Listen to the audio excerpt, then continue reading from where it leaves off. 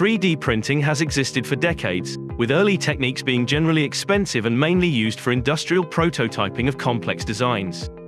But now, many modern 3D printing processes have become accessible and affordable, opening the way for us to take advantage of this technology, which is especially useful in remote or inaccessible locations, a fact made obvious when the first wrench was 3D printed on the International Space Station in 2014. UN missions, although not nearly as isolated as the ISS, must routinely deal with maintenance issues in remote environments. Vehicles or machinery can be inoperative for long periods while waiting to acquire replacement parts. Additive manufacturing can empower missions by providing access to any customized tools or parts they might require and bring self-sufficiency to an entirely new level. The Department of Operational Support, via its Global Service Center, aims to become pioneers and leaders in commodity 3D printing services, paving the way in commodity management and providing a flexible infrastructure for other sectors to contribute or benefit from, such as supply or transport, or any area requiring spare parts.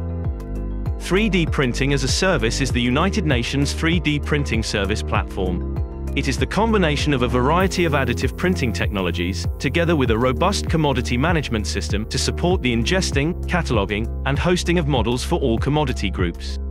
The commodity managers at UNGSC are the focal points for these services, and can help with any and all service integrations. Hundreds of existing 3D designs have already been uploaded and categorized into various commodity classes, which helps to organize the designs, for users as well as providers, and lays a framework for service expansions. All designs are accessible to missions through the service catalog, on the 3D Printing as a Service website.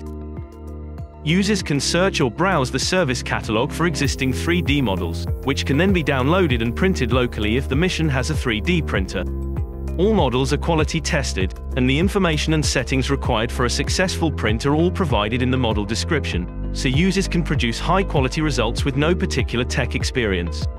If a mission doesn't have a 3D printer, the parts can be printed at the UNGSC, or any other location, for subsequent shipping to the mission.